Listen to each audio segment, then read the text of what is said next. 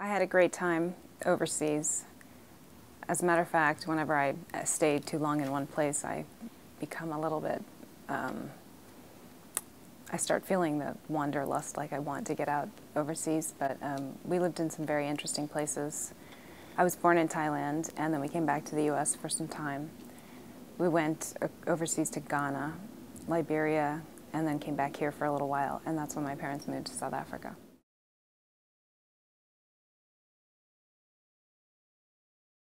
I think the advantages outweigh any possible drawbacks. I don't think I really think that there are any drawbacks. I was fortunate to have the opportunity to study different languages, to experience different cultures, and to uh, just be around different kinds of people. And I think it made me more open-minded. I'm not saying more open-minded than my friends who grew up here, but just it gave me the advantage of being able to see things from someone else's perspective.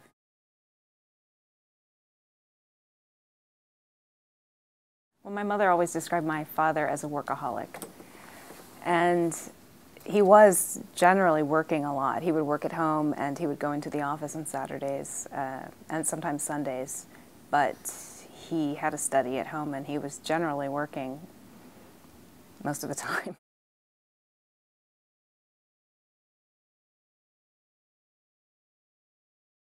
I was fairly aware of it. Um, in sort of a tangential way. I was at, actually, I was in boarding school at the time, and uh, we were pretty vocal about South Africa at our boarding school. Um, I was at Phillips Academy, and they also divested from any um, companies that had business in South Africa.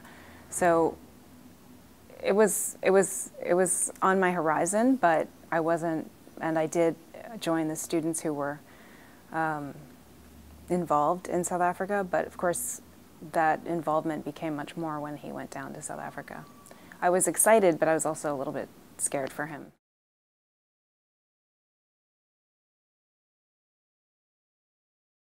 Well, I think generally it was just the inequality between the races in South Africa. And, um, you know, high school is, can be a time of um, self-awareness and then awareness of what's going on in the world. and so we were very interested in that chapter of history.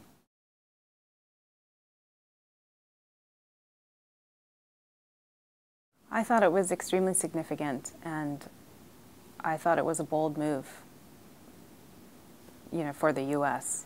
government and for Reagan to send him down there to South Africa. Some people thought that he was just going to be a puppet, um, but I knew that wasn't the case. Just knowing him, I knew that wasn't going to be the case.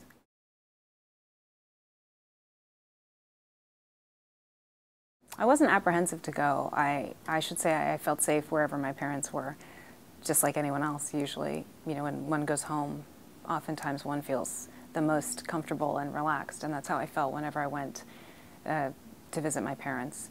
I spent spring break there summer vacations there and Christmas vacations. So I was there a fair amount. And I actually volunteered at one of the hospitals in Cape Town over the summer, uh, Hospital, which was where the first heart transplant was performed.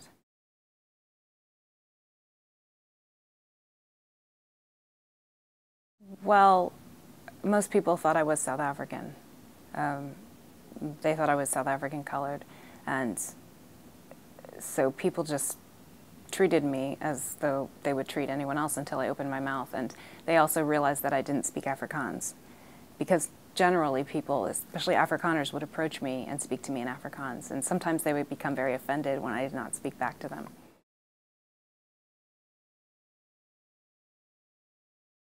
There was definitely a veneer of civility and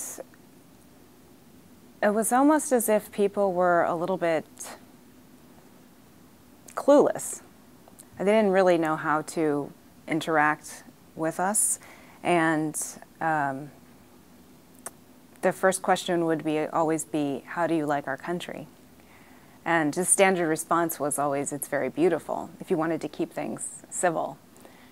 And I also realized I, I couldn't, I found it difficult to gauge how they would uh, react to any real conversation. I didn't really want to get into that. It depended on my mood, to be honest. So generally, people were very polite as long as uh, one didn't question what was going on in their country.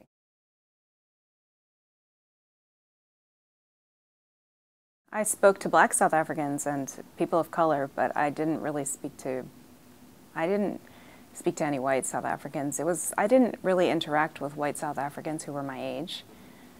I met them sometimes at parties, but it was very awkward. I felt awkward because of the situation down there.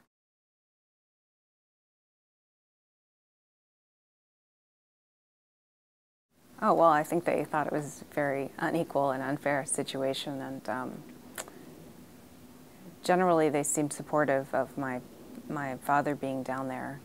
And I think they were happy to, um, that there were Americans who sympathized with them.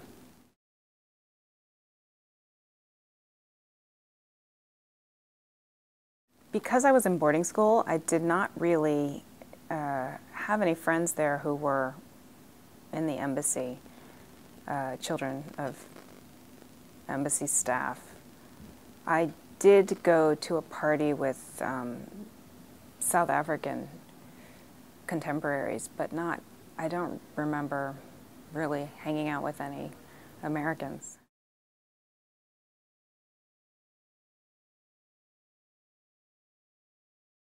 I think that would be difficult to gauge because I wasn't there for extended periods of time. I didn't live there consistently.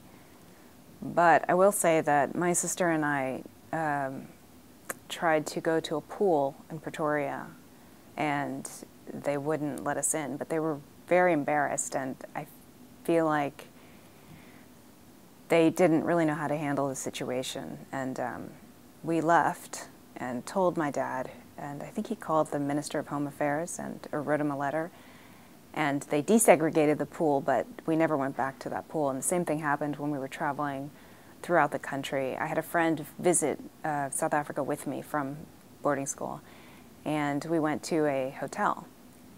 And they wouldn't let us stay there. We had made reservations, but when they saw who we were, they wouldn't let us stay there. And again, my dad wrote a letter, and they desegregated. I mean, they, they said that they accepted all races at the hotel, but that those those instances were just particular to us, and we're Americans, so didn't really apply to the general population.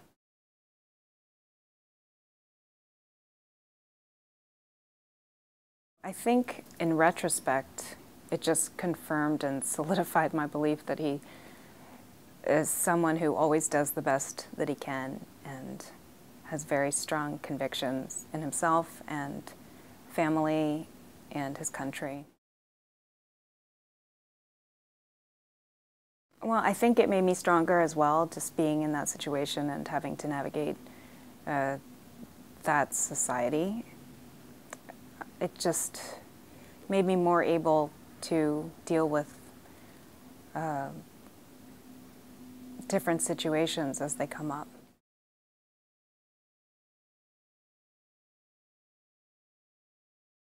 Definitely. It was, I felt like he laid much of the groundwork leading up to that moment um, and to Nelson Mandela's release. I thought it was unfortunate that he couldn't be there at that time, but then they did end up meeting later.